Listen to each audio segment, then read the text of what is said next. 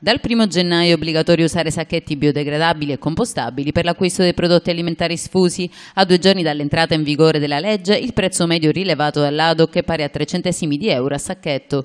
Considerando un acquisto di circa 200 sacchetti l'anno per singolo consumatore, la maggiore spesa a carico del singolo cittadino è pari in media a 6 euro. Il 65% dei consumatori si è dichiarato favorevole ai nuovi sacchetti in ragione della loro sostenibilità, anche se questi vanno ad incidere sulle loro tasche. Ma le polemiche in merito non si placano, anche i consumatori consumatori più sostenibili sembrano infatti avere da ridire. Primo problema fra tutti, la mancanza di alternative. L'Associazione Difesa Orientamento Consumatori mette sul tavolo due proposte, fissare ad un centesimo il prezzo del sacchetto pareggiando le spese di produzione in modo da non appesantire eccessivamente i costi a carico del consumatore e l'invito al Ministero della Salute e il Ministero dell'Ambiente ad autorizzare l'uso di sport a rete completamente riutilizzabili per l'acquisto dell'ortofrutta, alla stregua di quanto avviene già in altri paesi europei. Ad intervenire sulla questione anche Fare Verde, associazione l'Associazione di Protezione Ambientale di Messina, Isole Eolie e Ionica, che sottolinea come nel virtuosismo dell'azione si nasconde in realtà un meccanismo diabolico.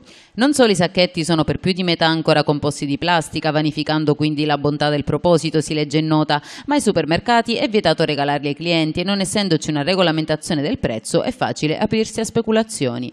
Inoltre continua la nota rifacendosi ad uno dei problemi sottolineati anche da Adoc, non essendo possibile per motivi igienici recare da casa a borso contenitori di diverso tipo tipo che finiscano a contatto diretto con gli alimenti e con le bilance e non avendo altre alternative che usare quelli forniti al supermercato, il disincentivo del pagamento obbligatorio per legge non può che scoraggiare il consumo, ricadendo così nello stereotipo che fare del bene all'ambiente danneggia l'economia.